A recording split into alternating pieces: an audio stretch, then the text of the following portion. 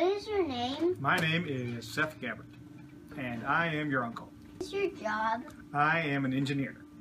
How did you prepare for this job? I went to KU and I studied in the electrical engineering school for four years. Well, it was more like five, but I just needed a little extra time. What are the duties of your job? I design electronics and I design mechanical things. Um, it's a small company, so I tend to do a lot more stuff than an engineer might do at a bigger company where they might do more focused things. What are the tools of your job? Um, for a lot of things, I use a computer.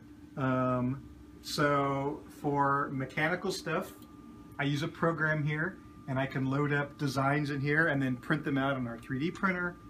For um, electronics design, I use a, program like this that I can design circuits on, and then I use that to design boards uh, like this that get made and then they get sent back and we put parts on them and we make electronics. Does your job provide a good or a service? Well, sometimes both.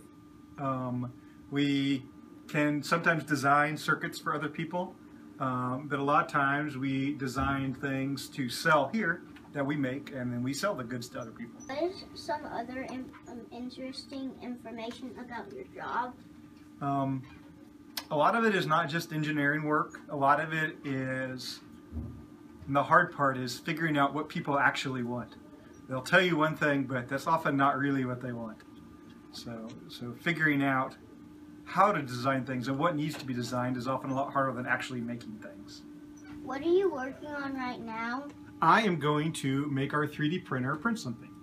Um, so I load the model file up into this software and there it's loaded and then I'm going to spin it around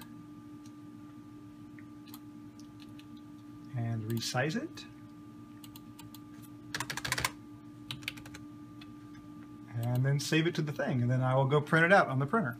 What's the most interesting thing you ever worked on? Hmm. I would say we've recently done a thing um, that controls uh, little LEDs attached to tiny optical fiber. And it's used to stimulate neurons in the brain. So uh, they make these special little uh, viruses that go in and they attach uh, sensitive things to different parts of the brain and then you use the light to turn them on and off. So you can trigger things like hunger or you can, uh, uh, you know, turn on and off something that something else. And and you can manually just sort of control all these different things that go on in the brain. So you can you can look for diseases and stuff like that. Uh, let's see. This is a, a, box I recently modified for one of our things. Um, and so you can uh, in this case, I was trying to figure out where the cutouts go in the box. So uh, if I hide the lid, that's the inside of the box. This is the board that we make the PCB. Uh, these are all the connectors on it. Uh, this is the purple one is a power plug. The pink one is USB. This orange one is a little thing on the side. These two green tubes are represent LEDs, and these things are all sized so that when they cut the box out, the parts all fit through it just right. Um, so I can hide the bottom, and then that just shows the board plus the screws. Put the back on. And then that's got to heat up into the, them. The print head is up here. So this works because there's this giant spool of plastic on the back. And this part here pulls the plastic through, and it comes out this little tip right here, and then it draws it on the plate.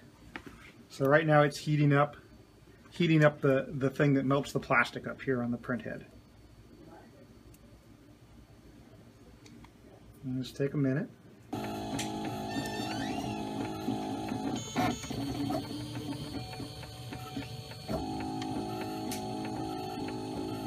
That's about three quarters of the way done.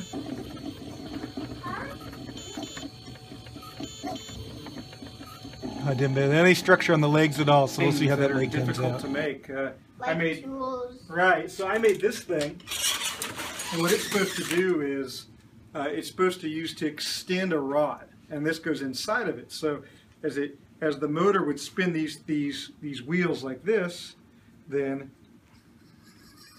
it pushes this through.